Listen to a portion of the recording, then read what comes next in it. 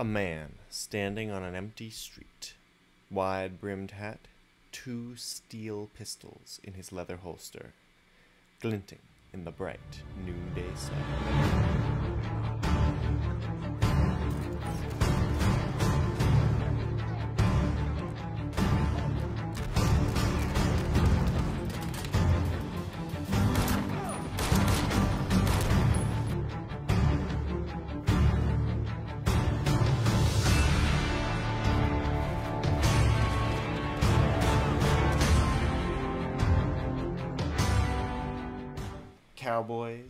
Outlaws, gun wielding pirates, even Stephen King's Gunslinger. There's a rich history of gunslinging heroes. I didn't use any modern examples like John Wick or Christian Bale's Cleric or guys like that, because the raw rules for D&D are pretty limiting in terms of firearms. While there are firearms listed in the DMG, they are specifically optional. Uh, so your DM might choose not to have them in their campaign setting. Um, if that's the case, you know you can certainly talk to them, but this build will not work, right? You need firearms in order to be a gunslinger. Where there is firearms used in campaigns, it's often these kind of like early sort of uh, flintlocky type of, uh, of guns. So even the revolver, which is going to be our preferred weapon for this particular build, um, might be kind of like on the edge of what's possible for a firearms-based campaign.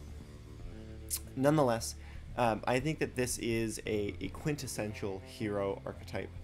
The the items are there, the optional rules are there. There's uh, a foundation for us to lean in and use firearms to shoot uh, and we are going to see what we can do to take advantage of them.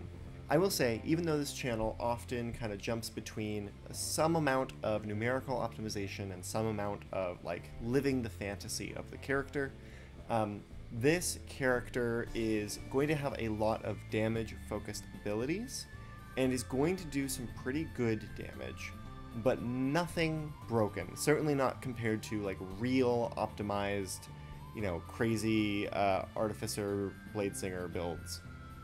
Um, you will be a damage dealer in the party, for sure, um, but it is not going to break your DM campaign by any means. If that helps you convince them to let you get away with this build, please add that in. Um, this is not a uh, you know super duper game breaking uh, build. It is damage focused, and we're going to be talking about damage numbers a lot. Uh, but if you compare it to even like the the baseline, the Warlock with uh, Eldritch Blasts and Agonizing Blast and all that kind of stuff, I think it, it just about tops that um, by a little bit, by some small percentage. So um, take heart, noble DM. Uh, this will not be the death of you. So let's talk about the revolver. Um, this is a weapon that requires you to be um, within 40 feet for normal range or 120 feet for the long range. A long range, of course, gives you disadvantage. Um, so it's this definitely not a longer range uh, uh, fighter. You, you, can remember like longbows and stuff, or even Eldritch Blast, the cantrip, has that 120 foot range. Um, we are kind of looking to fight people within 30 to 40 feet of us. Uh, with that said, a lot of battles are on roughly that scale. So I think this is very, very good for us. It has the reload property, which means you need to take a bonus action to reload it. But because it's a revolver, um, it only needs to be done every six shots. So uh, you can get away with, uh, even at higher levels, like two turns of shooting without needing to reload. It does 2d8 piercing damage on a hit, which is pretty darn high. Um, and uh, we are going to be taking advantage of that. that that's higher weapon uh, damage than you know a sword or a longbow. Even a great axe is not going to do 2d8 damage, right? The long run average of 2d8 is 9 damage.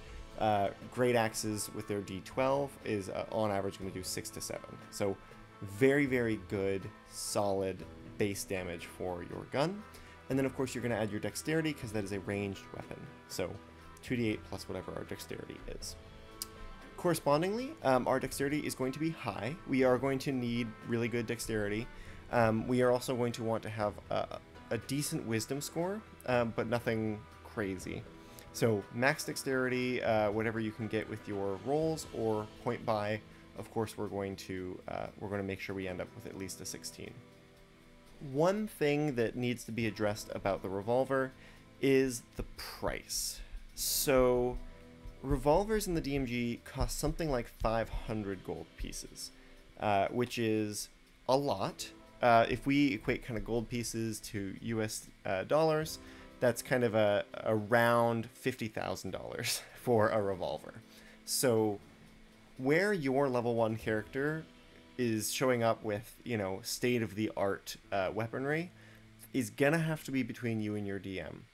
Uh, if I was a DM, I'm not sure I would allow a level 1 character to walk up with a revolver. But try this. Maybe pitch them on you stole it and the people that you stole it from are after you. So you are on the lam running away from them. That gives your DM, you know, a great set of bad guys to ambush you with at any given time, uh, and you get to have your revolver.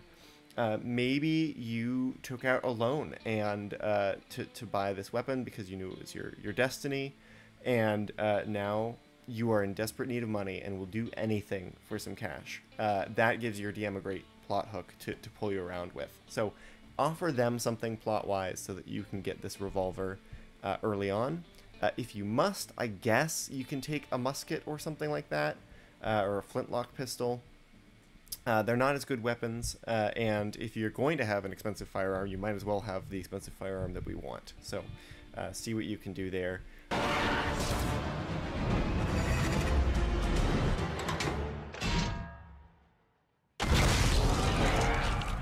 But I will be the first one to admit this build kind of rules as written. Uh, you, are you're, you're in some tough tough waters uh, trying to get this off to a good start. So for our race, I think that um, I don't think there is a gunslinging character in fantasy or fiction that is not human. And there is a feat that we want as soon as we possibly can. We will once again go the variant human or custom lineage route, this time taking the gunner feat. Um, the gunner feat is going to give us some stuff that we absolutely desperately need. Uh, the great thing about the gunner feat, so first of all, it's a half feat, um, so it's going to give us a single point of dexterity that we can use to start building up our dexterity even further. Um, you're going to gain proficiency with firearms, which is very key because uh, rules is written. Only artificers would start with that proficiency, and we aren't going to take any levels in artificer.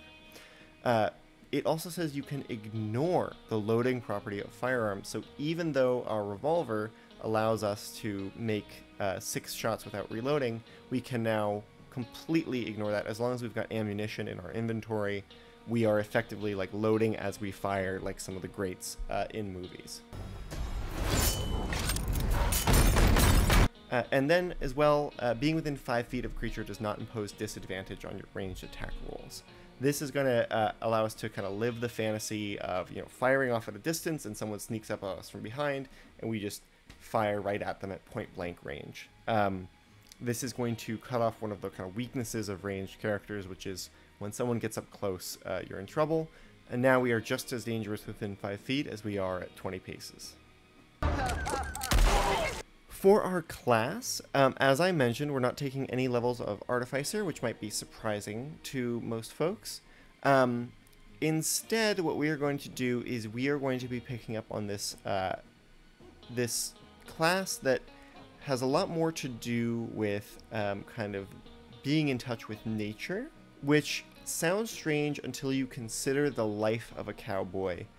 Always uh, in the saddle, roaming the wilderness, tending to the cows, dealing with the, the wilderness and the elements, uh, living by the campfire. You can see how this person might have a connection to the environment that they're in. Uh, and we are going to be taking a level of Ranger here. Uh, we're actually going to be taking several levels of Ranger. Um, this is kind of our primary class. And hey, uh, look at that. Now we are uh, a Lone Ranger.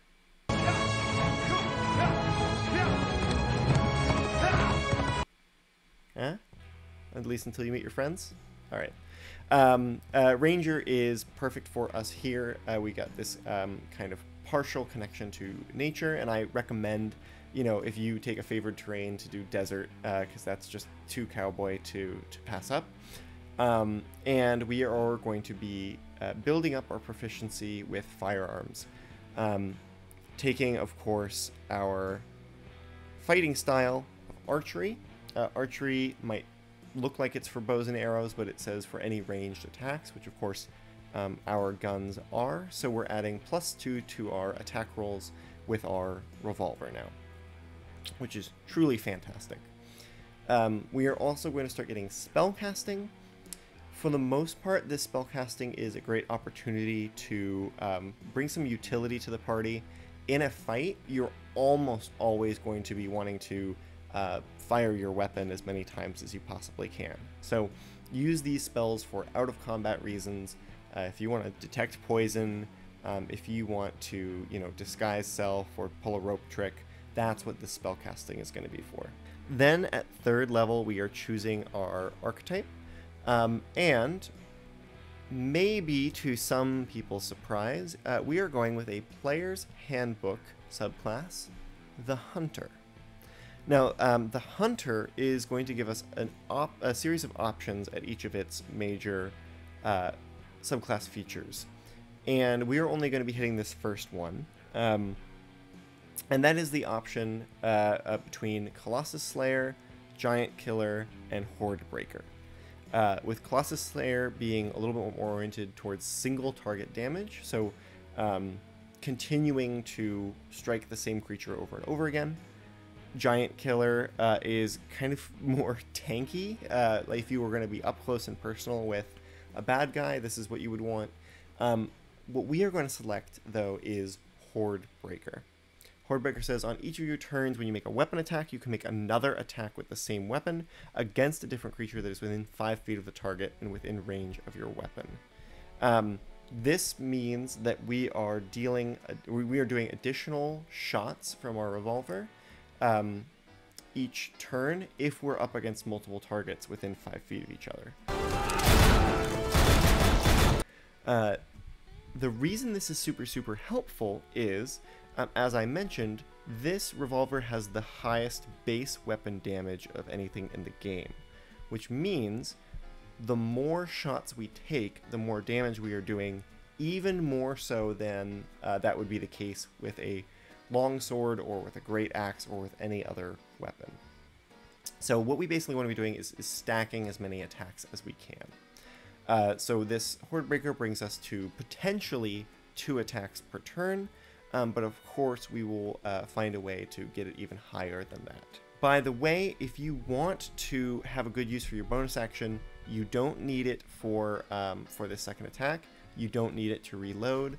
Uh, you might want to use it for uh, Hunter's Mark uh, if that is to your fancy, which would add to your damage numbers. For level 4, we do want to keep boosting our dexterity. We are going to aim to have this maxed out by the end of the build. Um, so add another 2 to your dexterity here at level 4. At level 5, we are going to get that coveted multi-attack, and we are now making 3 attacks per turn, provided there are 2 enemies within 5 feet of each other, somewhere uh, within the range of your gun. Um, that means each turn you are putting out 6d8 plus 12 damage, um, which is pretty considerable, uh, even for a level 5 character. Level 6 in Ranger isn't particularly uh, enticing, and uh, while I would love to get to the level 7 features of the Hunter, um, I don't think it's worth throwing a dead level in uh, just to get there those abilities are more kind of a, a flashy, fun, showy than they are like a useful, sustained, damaging ability. So we are going to go to um, the king of useful sustained damage, and that is the fighter for level 6. Uh, so we'll be Ranger 5, Fighter 1. Um, obviously, what we were getting here is the normal fighter stuff, uh, getting that second wind, which will provide very little hit points at this point with Fighter 1, we do get another fighting style. Um, since we already have archery and not a lot of the other ones uh, are super applicable to us, we might as well pick up the defense fighting style um, to get a plus one to our AC. there's not a lot that we're going to do that's going to improve our armor class uh, over the long run of this character, which is a bit of a uh, sore spot for us. So I think just grabbing defense is, is going to help um, minorly mitigate that flaw. As we move on to fighter level 2 with the character level 7, we are of course going to get that beautiful, beautiful fighter feature, Action Surge, uh, which is going to allow us to make uh, a second action, which we would take the attack action, which would get two more attacks. Um, plus, the Horde Breaker says when you take the attack action. Um, so we can be making up to six shots in a turn now if we use our action surge, um, which we can only do once per short rest. Six shots is, of course, 12d8 plus, uh, 24 from our dexterity an average of 78 damage on our action surge turn. Um, that's enormous, and it does rely on there being kind of a pack of bad guys. But you can imagine that we are just like fanning the hammer on that revolver, blasting away uh, at everything around us. Um, and that is going to feel incredible when you actually get to, to do it. Moving on, I think that there are some things that we want to be able to do with a gun that um, the normal mechanics of the game won't allow us to do.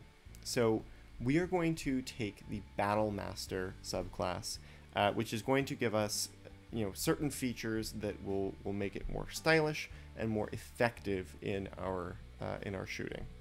So with the Battle Master class, we are going to get certain maneuvers uh, that is going to give us a little bit of flair uh, and strategic use for our weapon. I think that it would be pretty fun to grab uh, Disarming Strike. You can just imagine the gunslinger kind of pulling out and firing and like shooting the sword out of someone's hand, or if there's another person with a firearm, you know, like blasting it out of theirs. I'm a spirit walker. I can't miss.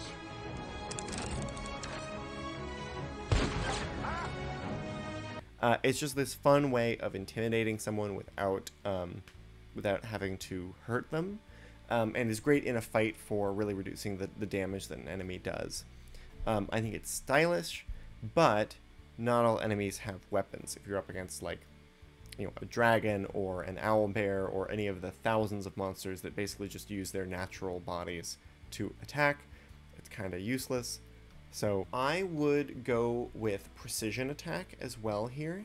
Uh, precision attack is going to exemplify this, you know, like uh, you're kind of aiming off the back of your own arm um, to get this like really well placed shot, um, hitting the bullseye each time. Precision strike will let you add to your attack roll.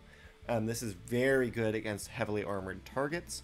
Um, now your modus operandi is to fire several times with your gun. So I wouldn't necessarily say uh, that this is uh, that precision strike is always going to be super helpful. The damage on each of your hits isn't super stacked, um, but it's very very useful. I think uh, if if it's necessary for you to get that one shot off. 2d8 plus your dexterity is is no laughing matter regardless.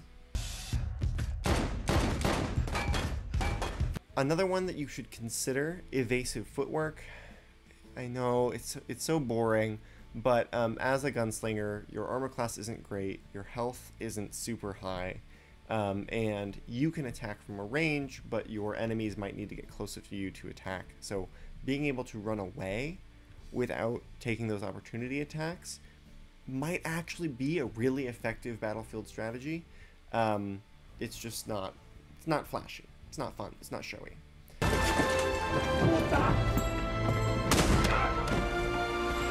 If you do want another showy one, you could use Distracting Strike, uh, which is going to help someone else. Uh, basically, you distract your enemy, and that other person gets advantage on their attack. Maybe that is uh, closer to the role that you want to be in the party if you have someone who, uh, like a rogue, needs that advantage um, to get their sneak attack and to uh, land that big hit. Hey, hey, was that sign damaged before? So consider that if you've got that sort of situation. Between all those different variables, I think uh, three of those four should be pretty easy choices. Um, I myself would take Disarming Strike uh, evasive footwork, and precision attack. All right, level 9 choices. If we were using the point buy system uh, for our uh, for our stats, the variant human is going to get plus 1 plus 1. We've then added a dex boost. We're sitting on an 18 dexterity. I want this capped. So I'm going to recommend another um, dexterity ability score increase. I do want to address another option, which is the sharpshooter feature. By this point uh, in your character build, your proficiency bonus is a 4, and your dexterity is a 4, and your uh, archery fighting style is getting a plus 2 as well. So you're adding plus 10 to each of your uh, attacks to hit, with the possibility of using precision strike in a pinch. This means against an enemy who is in full plate mail armor, uh, you will still be hitting them about 60% of the time. And most creatures have armor classes lower than that. The sharpshooter feat allows you to take a minus 5 to hit to get plus 10 damage on a ranged attack. This would mean on our kind of Nova round, where we make six shots in the turn, we would be adding potentially, maybe, 60 damage uh, onto that. That would take us well over the 100 damage mark, you know, here in turn 9, assuming that you hit. And this is the big assumption. So, if you were to take Sharpshooter your chance to hit would decrease pretty significantly, um, but your damage would increase pretty significantly if you did hit. It's up to you whether you want to do this. Um, a dexterity boost is going to increase our chance to hit and our damage by a small amount. So instead of being a trade off, it's kind of a small boost to both. Um, I'm going to take it because I think that there's um, a lot of use in uh, having a high dexterity um, kind of outside of this combat scenario, and we are already a really intimidating gunslinger um, with it. Um, I will admit, though, sharpshooter is uh, very good for our damage numbers, uh, if that is what you are looking for.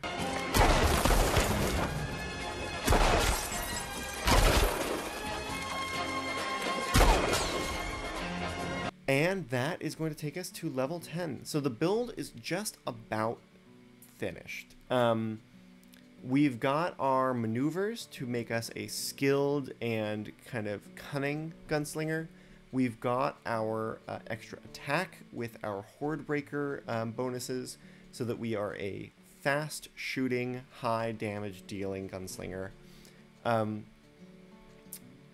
I think that uh, what we what we really need here is not another level one fighter. That would actually get us nothing because we already have multi attack. Um, we don't love Ranger 6. Again, we, we multi-classed out to avoid it. So I'm going to go a third class here. If you know for sure that you're going a few more levels, I would encourage you to plow through that Ranger uh, gap and get into the uh, into the Hunter features later on. Um, there's some great ones where you can fire your guns like at a particular range and just hit everyone in the range or maybe shoot a whirlwind attack all the way around you. Um, you can imagine someone like arms out to either side, just spinning, firing their gun constantly.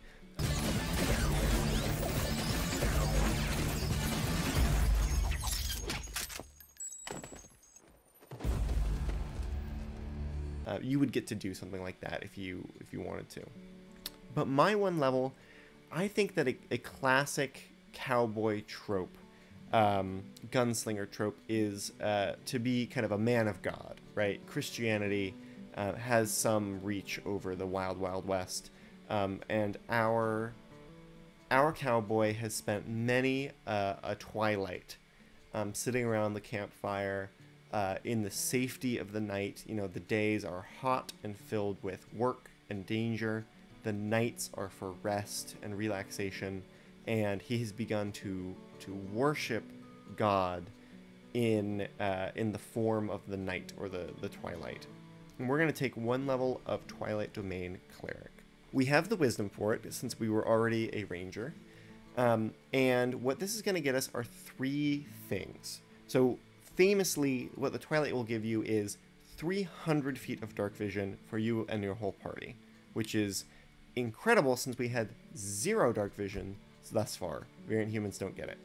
So, uh, if your party was doing anything in a dungeon, or anything at night, or anything whatsoever, you know, in a cave, um, you were probably not helpful at all. Um, but 300 feet of dark vision with level 10 now is going to make us um, deadly at night. Uh, borderline, um, you know, kind of a, a, really force to be reckoned with as we're able to fire with accuracy at people um, in darkness. We're also going to get. Um, we're also going to get an ability to give either someone else or ourselves advantage on initiative rolls, which I think is super super fun for like the quickest draw in the West, right? Um, your gun is in your hand and firing before you even know that it's happening. Um, with our max dexterity, so plus five, and advantage, you've got a very strong chance of hitting like a 20 or a 22 dexterity, or a 20 or a 22 initiative um, consistently, which means you are going to be the first one out the gate. You are going to get to blast away um, and set the terms of the battle. Especially if you're doing something like a disarming strike, um, you want to do that up front before they get a chance to use their weapon. Finally, uh, we're going to get more spell casting, um, and specifically the spell I'm interested in here is Faerie Fire. Faerie Fire, as you know, um, is a dexterity save for everyone in a certain area, and if they fail, you get advantage on uh, strikes against them. A very plausible uh, turn could be faerie firing a group of enemies. Your team all gets advantage then in that first round, and when the second round comes around, you go out swinging with uh, with your your action surge blasting away, advantage on every shot. I would be astonished if the bad guys are still standing. Uh, you would be the start and end of that fight within uh, you know kind of a one round's time.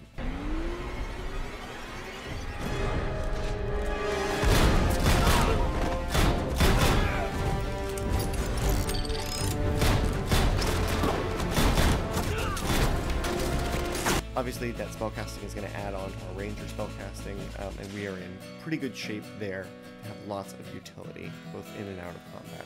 And now, you are an expert gunslinger, a man of God, dueling with fast, accurate shots, dealing a ton of damage, and then blending back into the desert, avoiding the lawman. Well played.